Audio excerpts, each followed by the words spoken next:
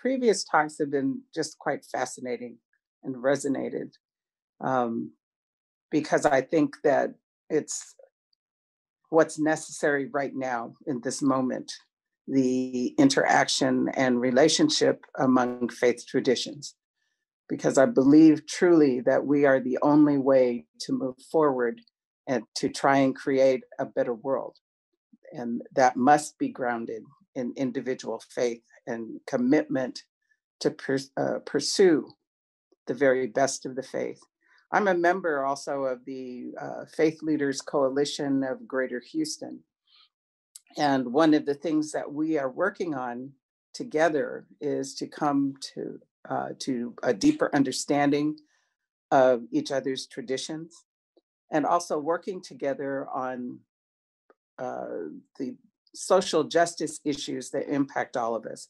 How we can lend our voices as faith leaders to uh, give more credibility or support and power to the issue at hand.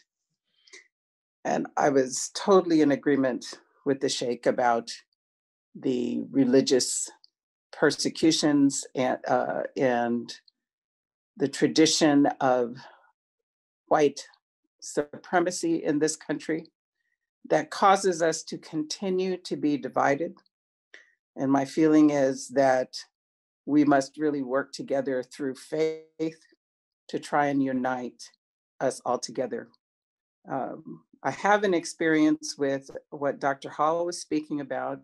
Over 30 years ago, my daughter was in a school based on constructivist education, in which they brought forward all of the different children and honored each of their individual traditions so that the other kids could learn about them. And so we have a group of people who grew up together. Uh, even now, they're still extremely good friends because they really, really understand each other, because they understand the culture, the food, the religions of all of those kids. And so I've seen that in action. And I think building that kind of coalition among faith with factual base uh, experience that uh, we can improve our world.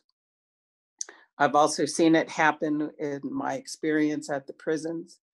Uh, as a woman of color working initially with men who were white supremacists, uh, I have seen them change because of the power of faith and the power of our own ability to transform.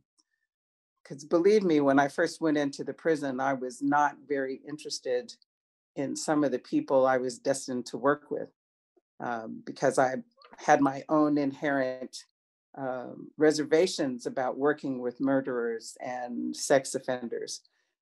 But I learned to love those people as the result of my faith.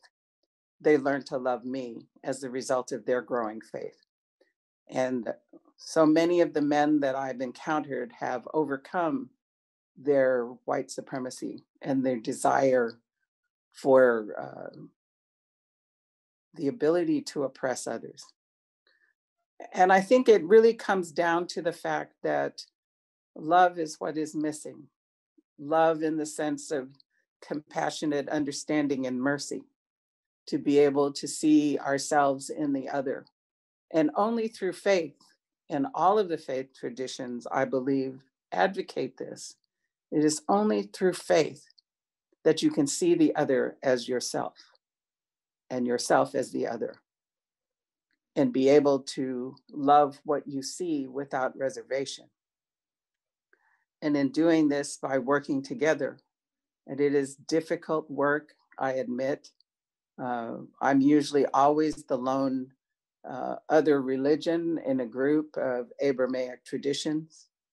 And I have seen them awaken to the fact that there's someone different in the room.